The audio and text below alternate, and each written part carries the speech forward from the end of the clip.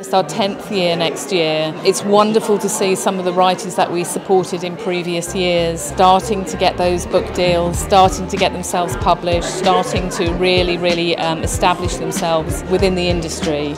The awards has a particular importance and a particular role to play in advancing diversity and inclusion within literature because what it's really about is that every book should be a mirror but most of us open books and we don't see anyone. And the only way we can find ourselves is to write ourselves and to write these diverse narratives from underrepresented communities. Everyone who wants to tell a story has got a story to tell and they should be given the chance to do that and the thing with Creative Futures Writers Award is that they do that. I think it's really important to publishing on so many different levels. It gives me the confidence to continue writing in a time where I felt like I had to stop because I didn't have that much. For me, I suppose it's validation that actually what I want to say in my poems is important. Puts my work into an anthology, a really beautifully produced anthology, and really shows the kind of diversity of poetry being written by, you know, underrepresented writers.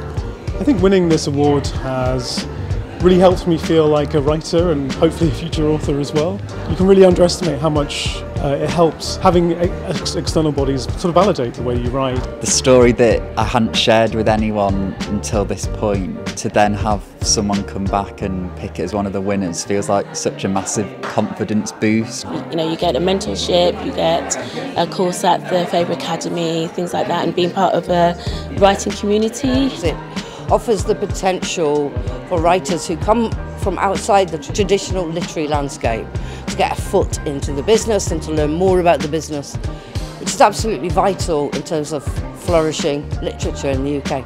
When you submit to a competition, you give yourself an end goal and a deadline.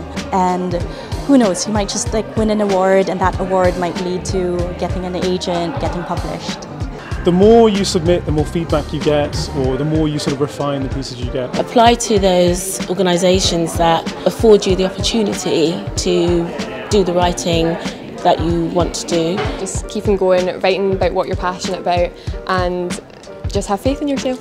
And it wasn't until I started just looking inside and trying it out just right and without any limits and see what happens. It's the quirky things that other people will say, I've never actually seen that. Maybe they'll find themselves through what you've written. One of our real main ambitions for this programme is to see more of the writers that we support being published, having their work heard, and to actually make an impact on that diversity within the uh, publishing industry. And we're starting to see that, and that's very exciting.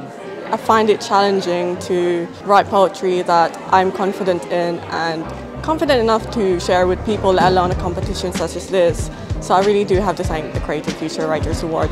Yeah, I just think the for the underrepresented writers and like what Creative Future are doing, I just think it's so important to like create that diverse and rich and exciting kind of voices to get them out there. So thanks very much to Creative Future.